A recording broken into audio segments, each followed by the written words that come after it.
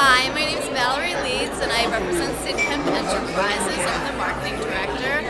This was my first day at the Boca Chamber and this meeting was great. People were friendly, they were welcoming, they were very helpful in connecting me with other people and it's been really a wonderful, well-informed experience. Everybody was so professional and so welcoming. I really appreciate it. I'm looking forward to being a part of your team.